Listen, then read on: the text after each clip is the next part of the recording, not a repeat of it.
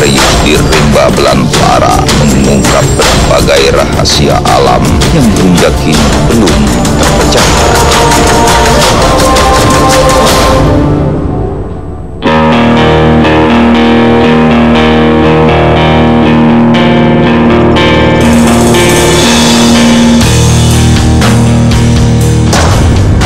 Jawa Gunung Pangrango masih menjadi misteri setelah dikejutkan dengan penampakan tersamar sosok seperti harimau Jawa di infra merah pada perburuan lalu. Perburuan kini kami lanjutkan.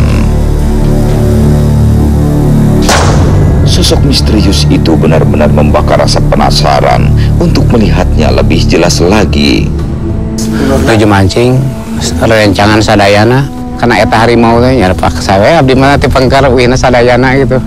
Nyakar mah paling nggak sekitar dua menitan. Langsung langsung turun langsung berangkat turun ya dan teh di luhur di pinggir gitu. Di mana ya tak eta mah di situ gunung. Meskipun telah dianggap punah sejak puluhan tahun silam, namun seperti yang disaksikan banyak orang, kami amat yakin sesungguhnya harimau Jawa masih ada. Yang Pak Haji ningali jarak berapa meter 100 meteran eh sieun sieun teh da seueur jalmi gitu oh se Betapa dekatnya harimau Jawa dengan kehidupan masyarakat pinggiran hutan di Pulau Jawa. Di sana, makhluk misterius itu seakan tak asing dan keberadaannya mengisi keseharian masyarakat.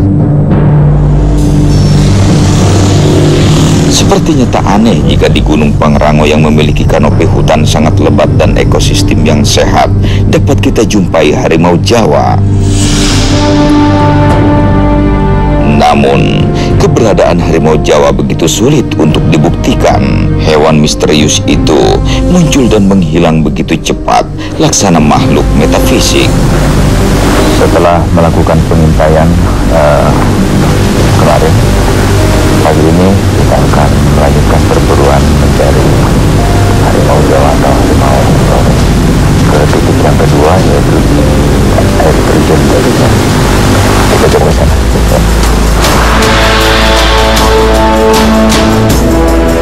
Beberapa hari yang lalu, kami telah melakukan pengintaian malam di atas Ranggon.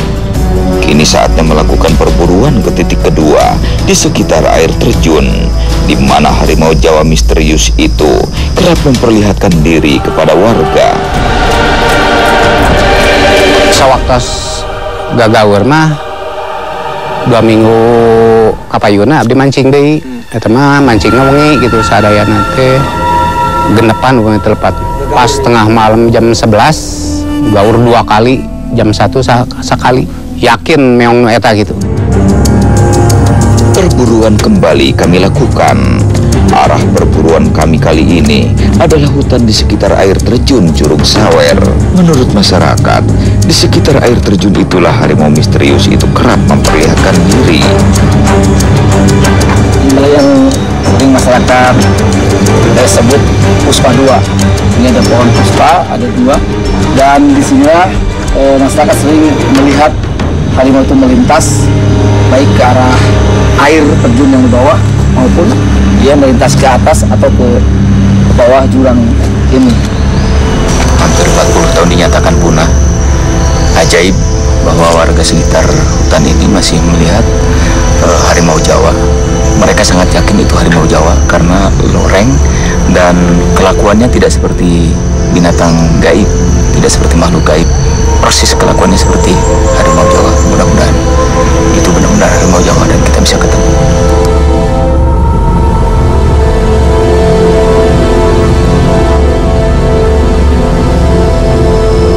Belantara Gunung Pangrango sangat sunyi. Kami waspada dan hati-hati. Harimau biasanya menyergap buruannya yang terpisah dari kawanan. Sendirian dalam hutan sesungguhnya sangat berbahaya.